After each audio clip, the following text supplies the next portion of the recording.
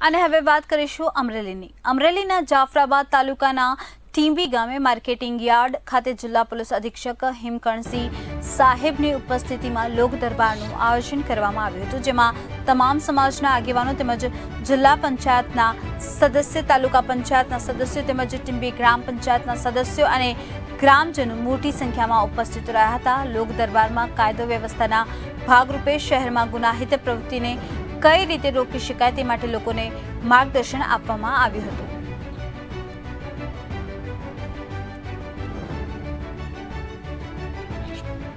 આજ રોજ માર્કેટિંગ યાર્ડમાં અમરેલી જિલ્લાના એસપી સાહેબનો લોક દરબાર હતો, જેમાં ડીવાયએસપી સાહેબ અને એમબી ગ્રામ પંચાયત, માર્કેટિંગ યાર્ડ, તાલુકા પંચાયતના સદસ્યો અને ગામના વેપારી એસોસિએશન અને ગામની આમ પબ્લિક સો સવાસો માણસોનો લોક દરબાર હતો. એમાં એસપી સાહેબે બહુ સરસ રીતે ગ્રામજનોને અને બધાને સમજાવ્યા કે કઈ રીતે ગુનાહિત પ્રવૃત્તિ અટકાવી.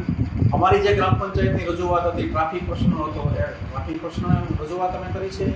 અને અહીંયા પોલીસ સ્ટેશનના જે ક્વાર્ટર જે જર્જરિત હાલતમાં છે, એને તાત્કાલિક નવા બને એ માટે પણ અમે રજૂઆત કરી છે, જેથી કરીને તેમની ગ્રામ પંચાયતમાં પોલીસ